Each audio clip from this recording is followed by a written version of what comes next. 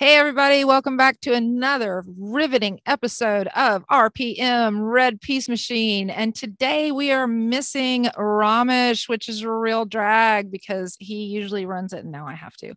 And he's super smart and he's always on time. so are you. You're you're very smart and you're even early. I am early. Um, so uh, I just let's run around real quick and check in on everybody.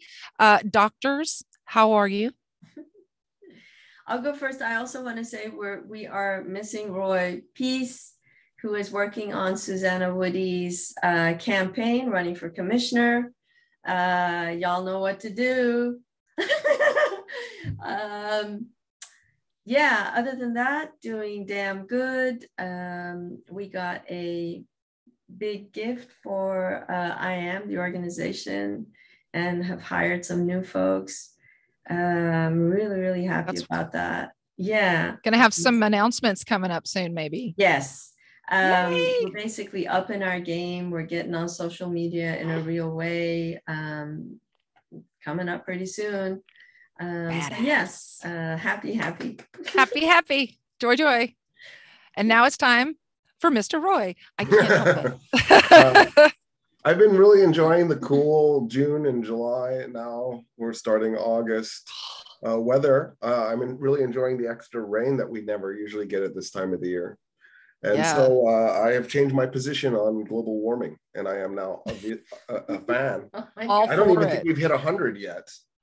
Uh, no, we haven't. We hit 99. We hit 99. I think we've we have which is you know insane. The um, same um, thing happened last summer. Yeah, I mean, I feel like the summers are getting cooler, but the falls are getting hotter. We we we have been experiencing pretty hot yeah. September's and Octobers, which are yeah. jarring. But you know, yeah. uh, it's better than living in Oregon. That place is hell. Uh, right? They're melting. On another note, we yesterday, the boys, basically Roy and our two boys, noticed right outside our door, there's this huge pot, right, uh, with different flowers in it, and and Roy kind of said, "Oh, look at this hole," and then Sina, our older one, went in, and what happened? He found a bird laying there, trying to be real wow. still, and uh, we we tried to identify the bird and. I have a friend who works for uh, Texas Parks and Recreation, and uh, so I always send him my wildlife pictures. Right. And and he's like, I, I'm stumped. I don't know. And, and I came up with common nighthawk, and he went, that's it. So there's so uh, we've been looking at pictures of common nighthawks. So there's a baby common nighthawk. So right where's the mama? Uh, I mean, I, am sure it's flying in and out, and it was probably away because we were there. But he wasn't abandoned or anything. No, don't I think. don't think so. Oh, it that is healthy. so cool. I know. I saw his little feathers. I have uh, barn swallows that that build their mud nests and shit all over my porch every spring. But I love swallows. I don't even. Oh my god! All they do is have fun. Yeah. I just want to come back and be a swallow. They have so much fun. And the babies are so crazy cute. And they, when they look over. Yeah, they look over, and then all of a sudden they all go. Their necks pop up and ah for the food. yeah. Those are the only kind of children I'm I'm okay with. I'm kidding. love our kids. I'm serious. I know I will. There are certain people who have kids that are worth it, and then other people I'm just like, stay over there, six feet, six feet. Isn't that just true for all humans? so today we're going to talk about Afghanistan, and um, I have some questions uh, just to start. my first question is, what the hell are we doing there in the first place? I mean, they didn't have anything to do with 9 11 as far as I know. Is that correct? So, so, the answer is it's a little bit complicated. It's not actually that complicated, but it but but there's levels to this. Um, so the you know the U.S. used uh, the the Mujahideen, which had org- organizations within it. Taliban was one of them Okay, can you tell us what what that means? So, is that the government? What is the Mujahideen? The Mujahideen was the rebel forces during the Soviet invasion of Afghanistan.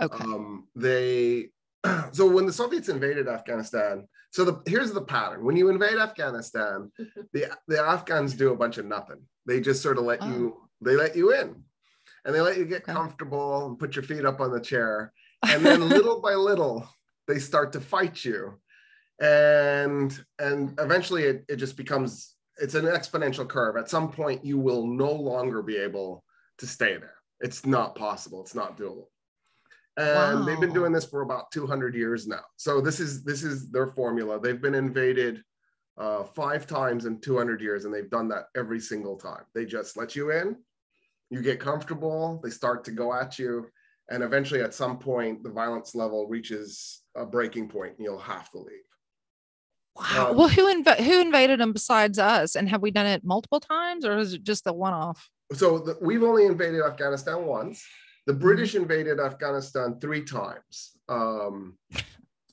the last time was at the beginning of the 20th century. Um, so if you look at a, a, map of Brit- the British Empire at the point where there's World War One, they actually had Afghanistan in that moment. Um, wow. And then when you look at a British Empire map of World War II, there's no Afghanistan in the British right. Empire because they lost it. Um, so the British invaded three times, the Soviets invaded, and then we invaded. And during the Soviet invasion, it was actually a Texas politician who championed supporting the Afghan rebels against the Soviet Union. And um, we, we, did it. We funded them, we trained them, we set up CIA camps in Pakistan and in Afghanistan. And uh, we, we armed them and equipped them. And, one, and two of the organizations we worked very closely with was Al Qaeda and the Taliban and um, so they were on our side. They were they were not only on our side. You got to remember that the Bin Laden family is actually totally linked to our oil families. Uh, Bush, uh, right? Especially. Yeah, like the Bush family, for example.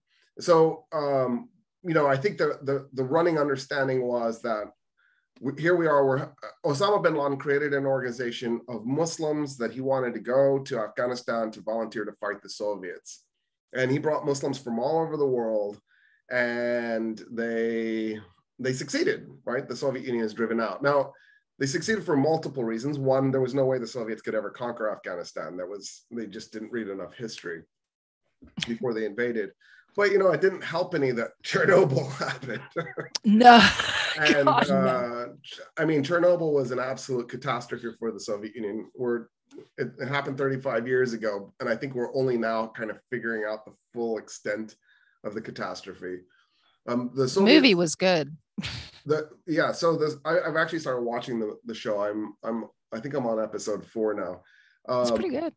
It's really amazing. But the Soviets had to mobilize 500,000 people. The show says 750, and maybe that was their target. But but my understanding is they actually mobilized 500,000.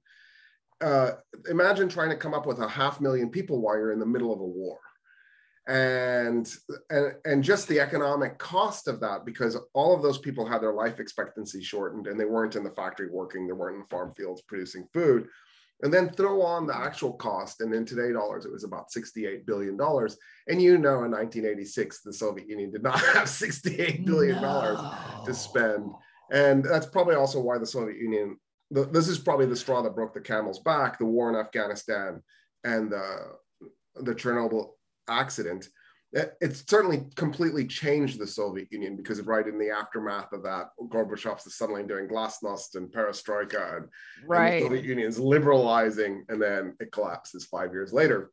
Um, so we abandon the guys that we had helped defeat the Soviet Union.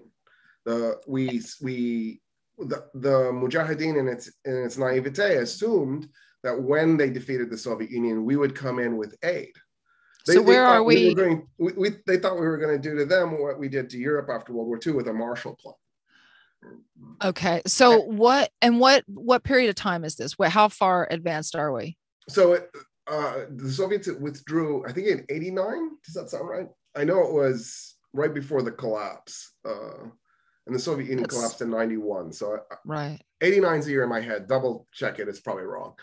Um, and uh, when the when the Soviet Union withdrew, the Taliban was under the impression we were going to come in and help them repair, right? Because the Soviets were nasty. They weren't they, they did they did to Vietnam what we did. I'm sorry, they did to Afghanistan what we did to Vietnam, right? They they went in there, they massacred villages, they poisoned they poisoned the countryside. You know, we dumped Agent Orange all over the place. They they they kind of if you were a leftist and you thought, well, at least the Soviet Union isn't as evil as the United States, you you your heart had to have been broken after the Afghan war. it became immediately clear that the, the Soviets were capable of just sadistic cruelty. Um, and and and a lot of the infrastructure was destroyed. So Afghanistan was reduced to rubble. And the Afghans thought we were going to come in there and at least give them loans, but you know, foreign aid would have been great too, and help them rebuild, get them a new hospital, get them a new road, get them a new school, get them a new police station. And we gave yeah. them nothing. We didn't give them a dime. So they felt used. And then Afghanistan turned into a civil war, and it was a nightmarish hell. And that, that only exacerbated things. And then the Taliban, they never fully won the civil war by the time we invaded uh, in 2001, but they controlled 80% of Afghanistan. So at that point, it, they were trying to wind it down. The great irony, of course, is it was Iran that was preventing them from, from completing their project. Iran was uh, supplying and funding the Northern Alliance, which had Mazar-e Sharif, which is the fourth largest city in Afghanistan. And, and, as, and they were just holding on to this little enclave of about 25% when the United States attacked. Um, wow. Okay, so all right, let's let's back up just for a second. So uh we attack for what reason? So Osama bin Laden definitely turned on the United States. Um, and one of the reasons why he did was because he was angry about the fact that we weren't helping Afghanistan. But the thing that really threw him over the edge was what we do to Iraq. Um, he, he could not get it out of his mind first that we had set soldiers in Saudi Arabia because he saw Saudi Arabia as, as sacred and here were all these non-Muslims entering Saudi Arabia to defend it. So, what year are we talking about? So, the United States goes into Saudi Arabia in 1990, and then in 91 we do a completely sadistic war on Iraq. It's a 30-day long air war and a five-day land war. And in the 30-day long air war on Iraq, we blow up every hospital, we blow up every police station, every school, every bridge. We just go after all these civilian targets.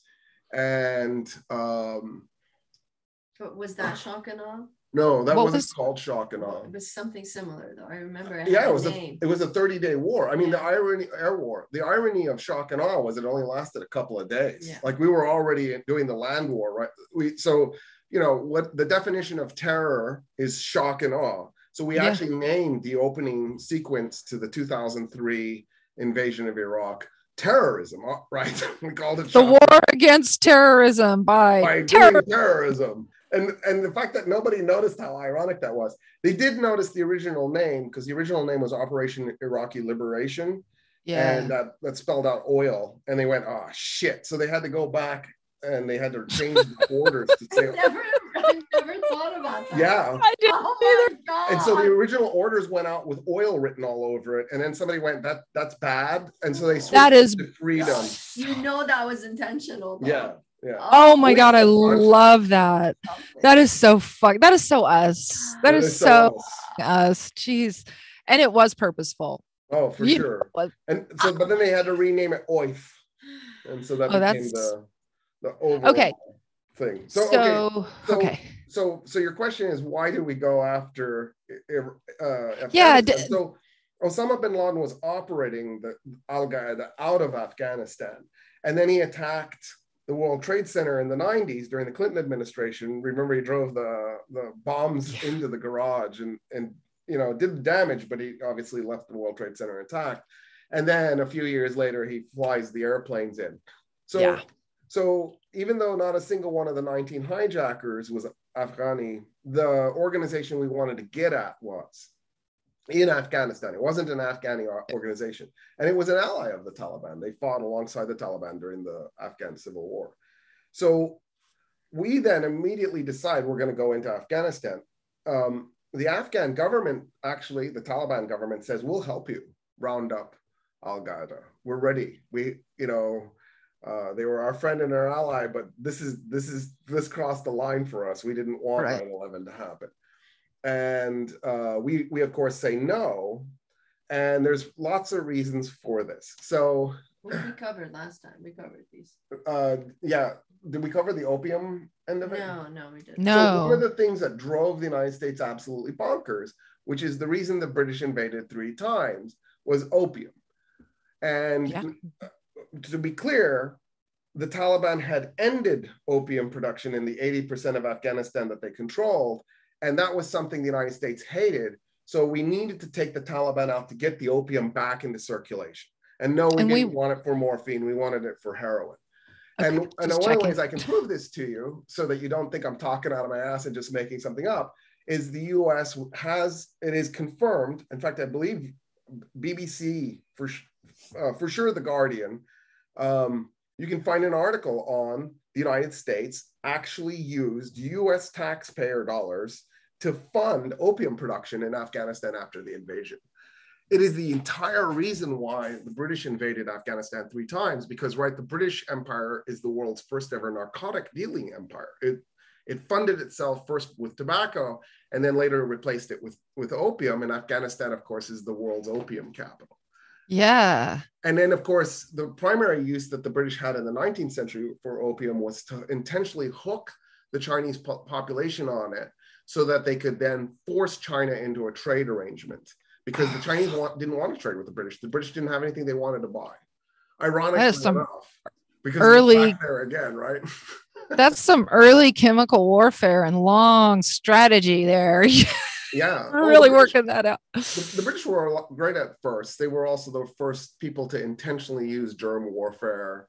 Um, they were they they they really helped pioneer the co- concept of concentration camps. I mean, they they really have gotten a lot of amazing.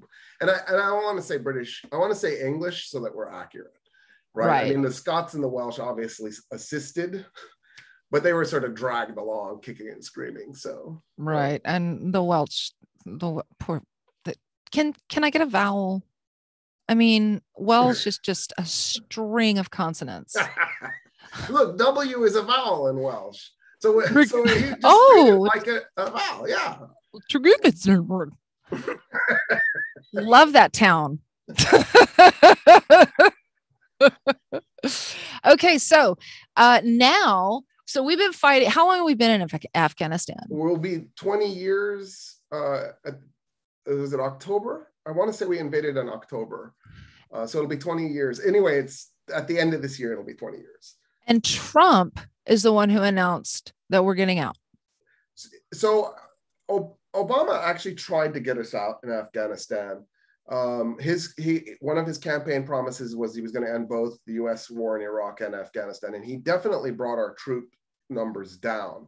Mhm. Um, Trump actually ramped our troop numbers up in Afghanistan, but then in the end, uh, he he so the Doha conference, the Doha agreement, which was last year, 2020, um, was uh, started actually by Obama. What the United States began secretly negotiating with the Taliban in Qatar. What is Doha? Doha is the capital of Qatar, which is the tiny little peninsula that sticks off of Saudi Arabia. Okay. Um, it's an oil-rich emirate that uh, uh, it's got a population of like 200,000 people, but it has global influence because it has so much money. Shit. Um, uh, so, uh, you know, Doha is a tiny village. It's it's its capital, but it's a Wow. it's a neighborhood in Austin. So um, the, the Obama administration began secretly negotiating with the Taliban, and what Trump did was he stopped it from being secret, and he just outright announced we are in full negotiation. Everybody knew it was one of those open secrets. right. Um, and it, and the, the idea was to get us out. And the deal that was struck was that uh, the Taliban would immediately stop all military activities against the government and stop and they and they promised they would never allow a terrorist organization to operate from Afghanistan to attack uh, the United States. And as soon as the deal was struck, uh, Trump announced that he, he originally announced that he was going to bring the Taliban to New York City on 9-11 2020 to uh, for the united states to sign the official surrender we were going to i thought that was really classy uh, Yeah. to surrender on 9-11 in new york city just yeah, that like, would have been I mean, intense. just wow yeah.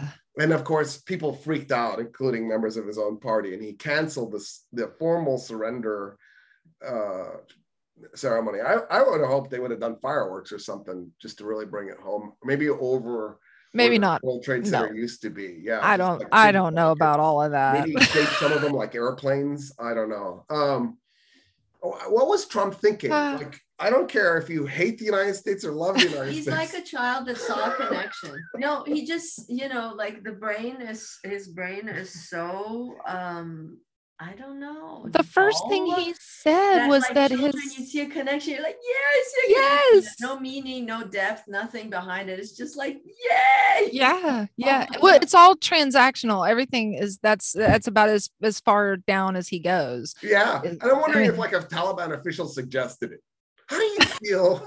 and he's like, "That's a great idea." it's a great idea uh and then the translator erase all that yeah, yeah. So, uh, go ahead. so we're I was just uh, gonna say we we're we um we officially have nine more minutes. We're trying to keep this to 30 minutes from now on. So I'm just wondering, what do you see now? So what, what is definitely happening right now is after 20 years, for, for the record, um, we have replaced the, the Afghan government's military and police force six times.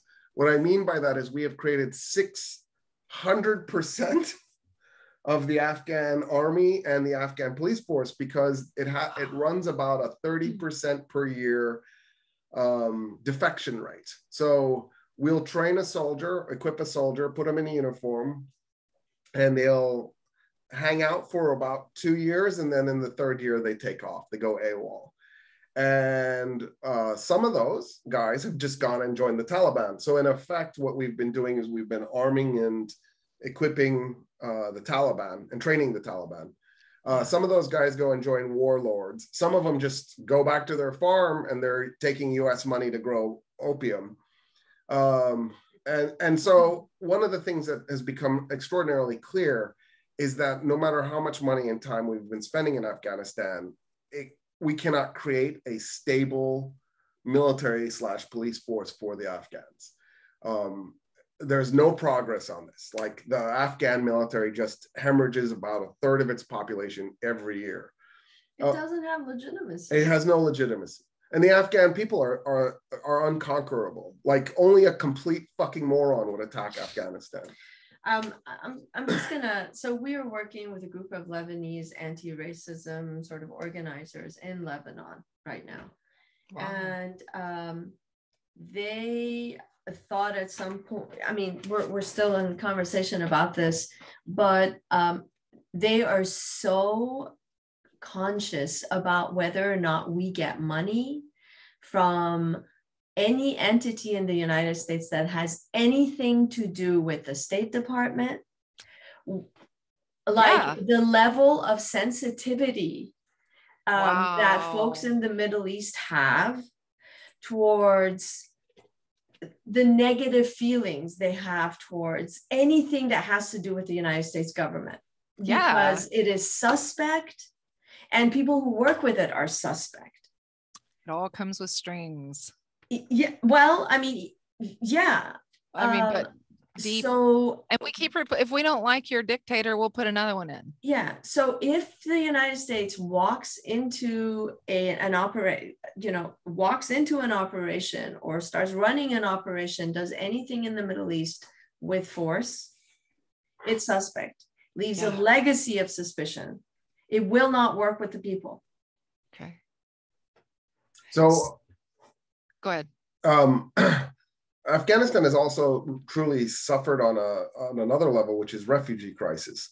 So over the course of the last 40 years, so since the Soviet invasion all the way to the end now of our, our war, and including the civil war in the fucking middle of this, um, about 8.3 million Afghans have ended up as refugees. Um, during the US occupation of Afghanistan, about five, five and a half million of those refugees have returned to Afghanistan. So, one of the interesting things about the US occupation uh, and NATO occupation was that it did bring enough stability and calm, and it did get rid of the Taliban, at least briefly, for most of the country, so that, so that people felt like they could go home. So now that this thing is wrapping up, one of the things that's almost certain to happen is another refugee crisis. Even though the five and a half million refugees have returned to Afghanistan, that still leaves about 2.6 million, 2.8 million refugees outside of the country, mostly in Iran and Pakistan. Um, and then there's actually 4 million refugees inside Afghanistan. They're just internally displaced. So one of the things that's almost certain to happen is, a, is, a, is another massive uh, refugee crisis. Iran and Pakistan can only hold so many refugees uh, for financial reasons, in part because the United States is literally starving Iran. Um, so what will almost certainly happen is those refugees will start heading to Turkey and trying and cross into the EU again. Uh, Turkey already has like two and a half million refugees itself. So it can again only bring in so many of those refugees. So they're they're going to have to go. Like if there's another five and a half million refugees, which is I think a reasonable number to expect, almost all of them are probably going to have to head towards Europe. So so the crisis that we just saw when we destroyed yeah. Iraq and, and Syria is about to repeat itself uh, again. Wow. And then, so we'll see all the political backlash from that. Also, it's worth pointing out that probably over 200,000 people have died in the 20 years in Afghanistan. Um, the estimates are that just under 50,000 civilians, Afghan civilians, um, the Taliban have lost about 51,000 combatants. So that only adds up to about 100,000. What um, the United States and NATO, we've lost about 3,500 uh, military personnel. But there's all the contractors, which are just mercenaries, right? That there are about 4,000 dead contractors. So that's about 7,500. And that's actually a great way to sort of disguise your, your fatality rate. You can just go, oh no, they were contractors. And then somehow that makes it not us. They don't count. They yeah. don't count. Um, the, the rest of the, the losses at about 66,000 are actually the Afghan army. And, and so one of the interesting things about this war has been usually when the United States goes to war uh, with the third world country, we the the fatalities are almost entirely third world. Like in the case of the Vietnam War, we lost 58,000, they lost 3 million. Um, in the case of the Iraq War, we lost 5,000, they lost two and a half million. Jeez. In the case of this war, uh, NATO and Afghan forces actually took heavier losses than the Taliban did. And so that just shows you the extent to which the fight really was uh, logical, intelligent from the Taliban side. Like it was, it was very focused. It was very sharp. Uh, it, it, was very brutal. Um, so the Taliban definitely won the war, not just politically, but also militarily usually like in Iraq, we, we won it militarily, but we lost it politically. And Afghan and Vietnam, the same thing. And if you lose a war politically, you, you lost. But right. in the case of Afghanistan, we lost both politically and militarily. And then um, since since a bunch of troops were withdrawn at night in Afghanistan, uh was that june? Yeah I, what the hell happened there? Just in the middle of the night like the walk of shame averted. Yeah. I mean we just pulled out. We didn't tell our allies. We didn't tell pakistan. We didn't tell the afghan government. We just snuck out in the middle of the night. Since then the taliban have dramatically increased the amount of territory that they own. Um, they the Taliban probably owned about 30% of Afghanistan. They probably own more like three quarters now. So just in the last few months, whole sections of Afghanistan have, have fallen. Almost all of it is rural, but there is extraordinarily intense fighting now at the second and third largest cities in Afghanistan, uh, Herat and Kandahar. I guess it's the other way around. I think Kandahar is second largest and Herat's third. And then uh, the other town is Lashkargah, which is like the 10th largest city. And those three cities, uh, Lashkargah, of course, is in, uh, Helmand province, and that Helmand province got became famous because the Marine Corps took such a blooding there. Um, the if the Taliban can capture one of those three cities, it will be a devastating political loss for the Afghan government because then then it not only have they lost the countryside, but that means they're now starting to lose cities. And, and that's very likely. And it is very likely. Uh, all three cities are surrounded on all sides and the fighting is now in those cities. That um, doesn't that just prepare us to go in again? I mean, isn't this just a, a, preparation for a whole new, never-ending war? I mean, that's what we do, right? I mean, that's what we did in Iraq. We withdrew and then we had to go back in. But in the case of Iraq, that was a, a special circumstance. Uh, ISIL was on the verge of conquering and unifying Syria and Iraq.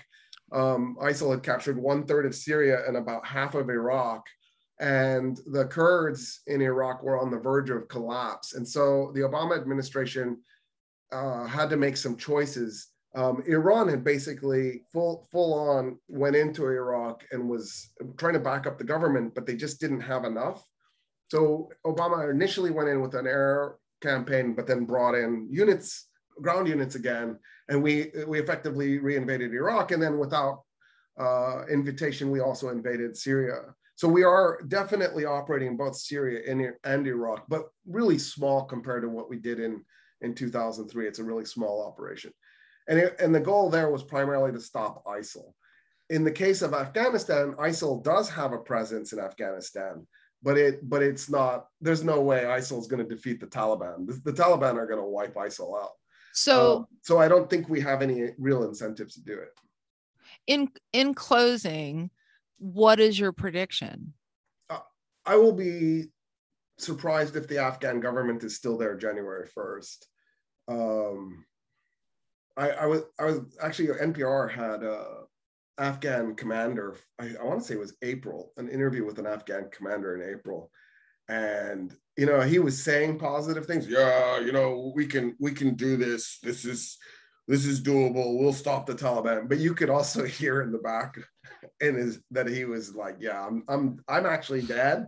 I'm just still alive, and my my forces are going to get wiped out. Um, and it was really disheartening to listen to because you could you could just hear like the despair coming through, even though he was trying to talk like he had this under control. Um, I don't. If the Afghan government survives to January first, I don't think it'll ju- survive to January first, twenty twenty three. Like uh, it's going down. It's, it's going down. It's it's just and, a matter of time. Uh, I for me the real tragedy is you know like the Taliban are going to crush women again, and they're gonna they're gonna set up this this nasty uh, regime of destroying everything historical and blowing everything up that is uh, right pre-Islamic. And by the way, blowing up stuff that's Islamic because they don't want icons and idols. They want to they want to they want to sort of have a they have literal interpretation. They have right Salafi, very Saudi interpretation. No worshiping the land idols. of Rumi. Rumi's good. Oh, tell everybody what Rumi is real quick. Yeah, Maulana Jalaluddin Rumi was born in Balkh. Balkh is Mazar Sharif. It's northern Afghanistan. That's the area that that used to be under Iranian sort of uh, Northern Alliance. Yeah. Um, what's the word for that? Like, uh, yeah, uh, under Shah Massoud's uh, uh, patronage, I guess.